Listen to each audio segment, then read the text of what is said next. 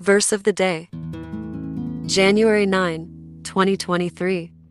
The memory of the just is blessed, but the name of the wicked shall rot. Proverbs chapter 10, verse 7. Inspiration People who strive to be good and righteous will always be remembered with fondness. When people like this leave the earth, they will be cherished for many years to come. But the memory of people who have lived their lives hurting people will never be a good one. These people will not be sorely missed. If anything, people will be glad that such people are gone.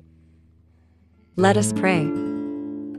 Dear God, I pray that I will always be kind in my ways to everyone around me. I desire that when I leave this earth, I will be remembered for being someone who expressed your love, not someone who inflicted pain on others. May I be known for being peaceful and loving and always ready to help, Lord. In Jesus' name, I pray. Amen.